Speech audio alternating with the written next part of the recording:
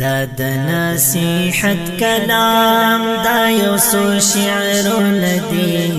واور مسلمانا وکړه عملون پری واور مسلمانا وکړه عمل